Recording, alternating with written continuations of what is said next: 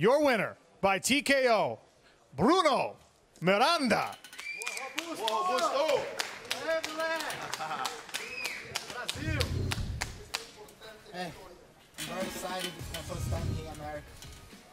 Let's uh, let's flip around. No, you're good. Come on, man. Let's flip around. We'll we'll let the camera get in position here. Bruno Miranda.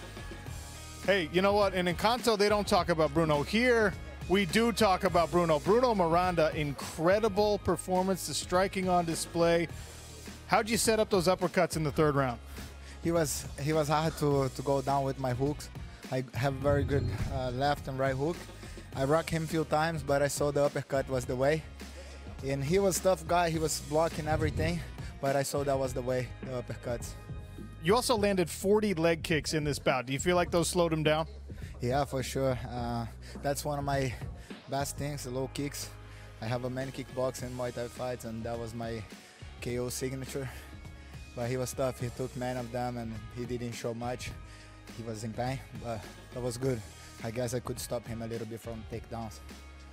Really impressive striking performance. Let's see what our celebrity panelists thought of it. Over to you, JSB.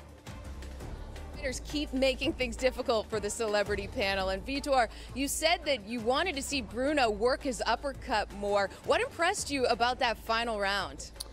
Listen, Bruno, take my hand, my hats. Today, tonight, the Phenom is born at the PFL. So I saw so much aggressive.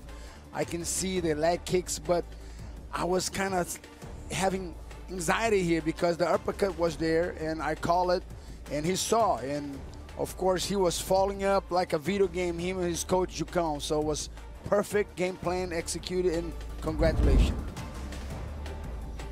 Thank you. Appreciate it. All right, let's let's take a look at these fight-ending replays.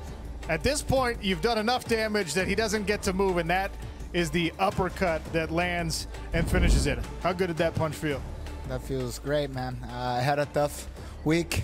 Um, had a trouble with my visa to come to America, and I came on. When was Tuesday, so I had to rush with my weight cut. I arrived on Wednesday. I have to rush with my cut, my weighting cut, and I was thinking I was not about to make to America.